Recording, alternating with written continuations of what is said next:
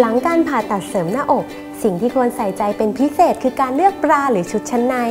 บราสำหรับผู้ที่เสริมหน้าอก ควรมีลักษณะเป็นแบบสปอร์ตบรา ไม่มีโครงมีความยืดหยุ่นสูง เพื่อป้องกันการบาดเจ็บจากการสวมใส่ ไม่กดทับแผล